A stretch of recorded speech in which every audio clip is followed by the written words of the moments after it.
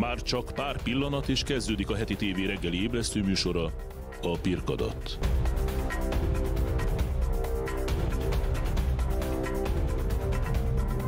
Élőben a stúdióból jelentkezik Brajer Péter. A Pirkadat mai vendége Dr. Péter Falvi Attila, a NAIK elnöke. Szép jó reggelt Jó kívánok. reggelt kívánok! Volt egy budapesti lakógyűlés, nem láttam, hogy erről publikáltak volna valamit, vagy nincs véleményük? De van véleményünk, ugyan elég sok idő eltelt azóta, vagy viszonylag sok idő, de nyilván a hatóság eljárásainak megvan a maga menete, és itt a feleket is meg kell kérdezni ebben a, az ügyben, de az elmúlt héten írtam alá az állásfoglalásokat, állásfoglalásokat. Ez azt jelenti, hogy ennek a budapesti lakógyűlésnek a, az adatvédelmi vizsgálata két területre irányult. Egyrészt a főpolgármesteri hivatalnak a tevékenységére, másrészt miután a főpolgármester a nyilvántartásból szerezte meg a budapesti lakosoknak az adatait, ezért a másik iránya a vizsgálatnak az volt, hogy a nyilvántartás az jogszerűen adta el ki ezeket az adatokat. Ma fogjuk közzétenni a honlapunkon. Ez a, akkor is így van, hogyha ő kezeli ezeket a nyilvántartásokat? Vagy nem erre a célra? Ö, tulajdonképpen itt az egyik érdekes kérdés az az volt, hogy nyilvánvaló a, a, a fővárosi vezetés az egy hasonló konzultációs megoldást akart létesíteni, mint amely a nemzeti konzultáció. De a nemzeti konzultációnak törvényi lába van, és a nemzeti konzultációnál törvény szabályozza azt, hogy hogyan lehet adatokat kikérni a nyilvántartásból, és azt is, hogy az érintettek letilthatják az adataikat, a, és akkor nem adható ki, mert tulajdonképpen ez hasonló a, a, a ugye itt nyilván a kormányzati döntéseket megalapozandó lehet szükség információra, de az állampolgár érezheti úgy is, hogy ez egyfajta valamiféle ilyen politikai marketing-szerű dolog. Na most a fővá... hát van egy kicsi átfedés. Na most a fővárosi ö, ö, megoldásnál tulajdonképpen ez sokkal, de sokkal erősebb láb volt. Tehát ahogy mondta, hogy van egy kis áthallás, hát a fővárosi lakógyűlésnél nagyon erős áthallás van. Azért is, mert nyilvánvaló, hogy a, a nemzeti konzultációknál feltett kérdésekre születik valamilyen reakció. A budapesti lakógyűlésnél egy más jogi konstrukció van, ott a jogszabály szerint a, ki kell adni az adatokat, amit igényelnek, lakcím adatokat, hogyha a fővárosnak a önkormányzati rendeletben ö, lévő feladatának az ellátásához szükséges. Tehát kell egy fővárosi rendel, egy, kell egy rendelet, egy önkormányzati rendelet, ami megfogalmaz feladatokat a ö, ö, hivatal számára, de nincs meg mondjuk az adat, a lakcím adata, akkor igényelhet. Na most itt... Akkor én jól értem elnézést, hogy megszakítom, hogy amennyiben a fővárosi közgyűlés hozott volna egy rendeletet. Hozott. De tulajdonképpen ez a rendelet, ez egy olyan rendelet volt, hogy betették a főpolgármester hatáskörébe, hogy konzultálhat a lakosokkal. Bár uh-huh. egyébként a konzultáció kikérheti a véleményüket, egyébként ez semmire nem kötelezi a ö, főpolgármester. Tehát itt eleve már ez egy érdekes ö, konstrukció, tehát miért akarok névre szólóan ö, kommunikálni, ha egyébként a véleményükkel úgyse akarok mit kezdeni, vagy ha akarok, kezdek, ha akarok, nem. Miközben egy ilyenfajta véleménykikérés és itt már bejön a GDPR, az Európai Unió adatvédelmi rendelete, megoldható úgy is, hogy nem kérem ki a lakosoknak a címét, hanem ö, ö, személyes adat nélkül is. Bedobatok a, a borítékot a postaládájukba, különböző reklámokat, fejtsék ki a véleményt. Mibe fog kerülni ez a fővárosnak?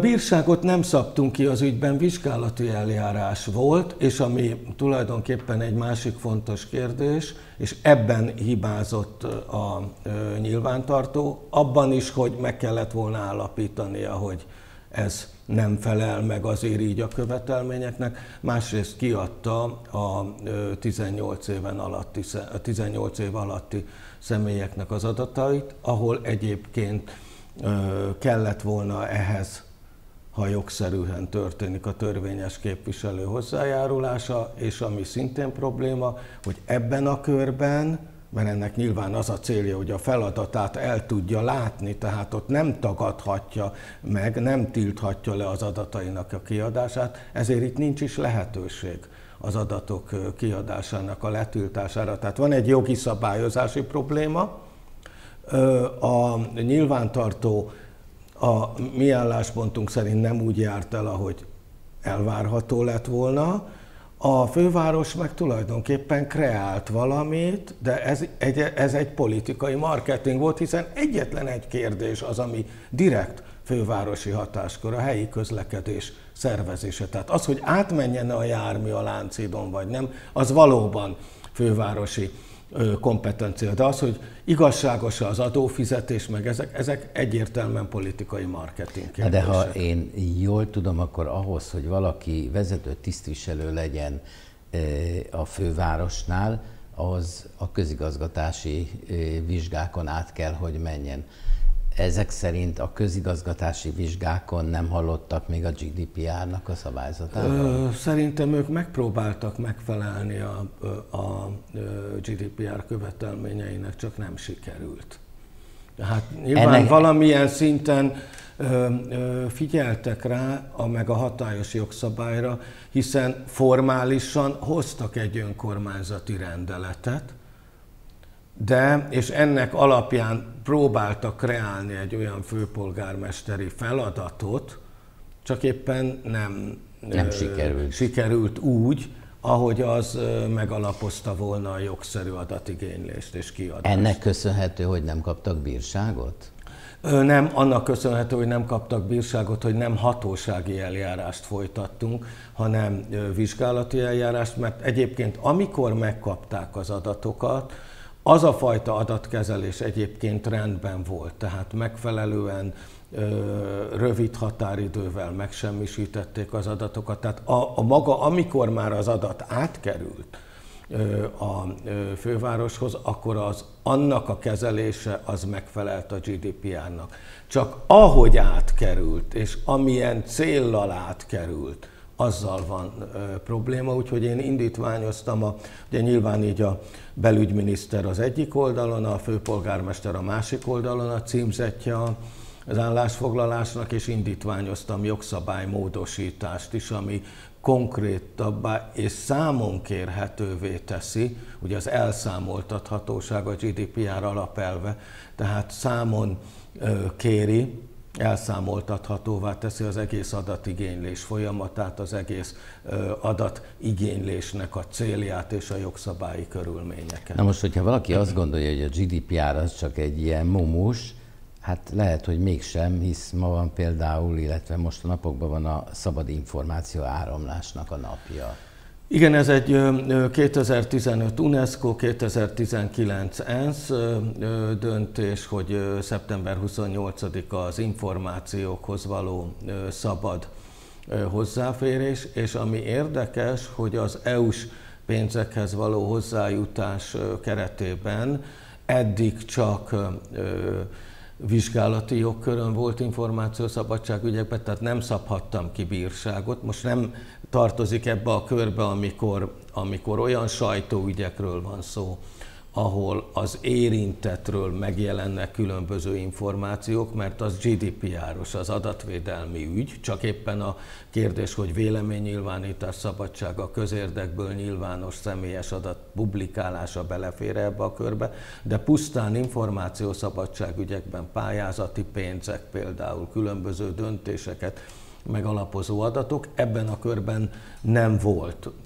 hatósági jogköröm, míg nem az uniós pénzek lehívása érdekében a bizottságnak a követelését a kormány teljesítette, és egy központi közadatportálon kell megjelentetni a azokat a pénzeket az államháztartási törvény szerinti költségvetési szerveknek, amelyeket egyébként eddig is meg kellett jelentetni, de most, ha nem jelentetik meg ezen az oldalon, akkor föl kell szólítanom rövid határidővel, és ha akkor sem, akkor kiszabhatok bírságot, és a bírság összege 50 millió forint lehet, tehát egy magas bírság.